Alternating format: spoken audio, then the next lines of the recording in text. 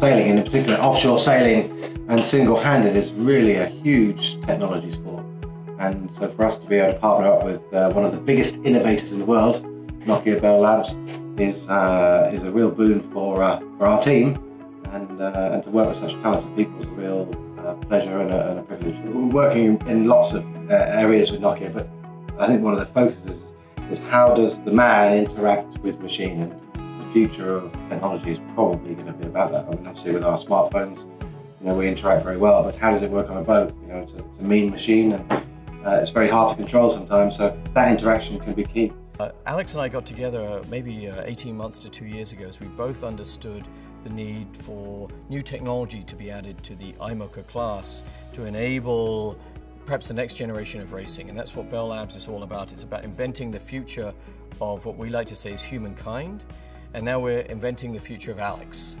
And then part of the whole interaction thing is about me and the and the person. You know, we spend most of our time operating on the technology, on the machine, on a on the piece of kit that's going to go fast and hopefully be reliable, but on the human itself, what aspects are there for me? I mean, how much do I sleep? Sometimes I didn't even know how much I sleep.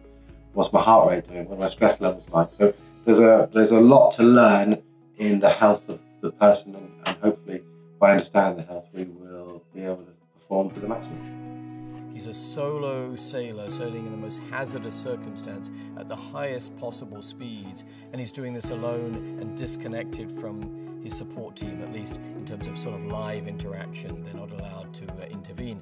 So we thought, well, we're going to instrument the boat, and we're going to connect that instrumented boat to Alex, so he and the boat become in perfect harmony.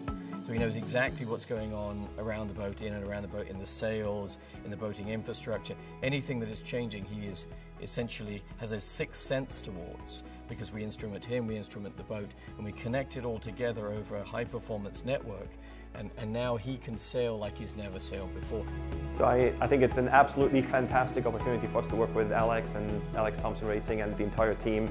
They're a wonderful team, high performance team, very professional, but also very, very innovative. And they've done great innovation in ocean sailing, competitive sailing for 15 years. And we have a, a history, a DNA of innovation and new ideas, pushing the boundaries. And, and this is just bringing the technology that we have with the technology that Alex Thomson has together and, and going after a big goal of winning the Vendée Globe in 2020.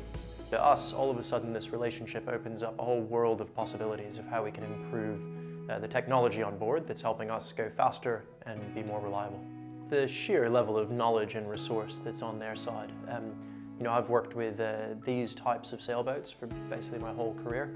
And, um, you know, we've always been striving to develop things and you, uh, you know, you want to make whatever it is, you know, a better nav light. And it's all very cottage industry. You know, I mean, there's some great minds in the sailing industry, but the, this level of resource and experience into things like machine learning and advanced data analytics we don't have anything, none of the teams have anything near what exists with Nokia Bell Labs. So this resource is just phenomenal.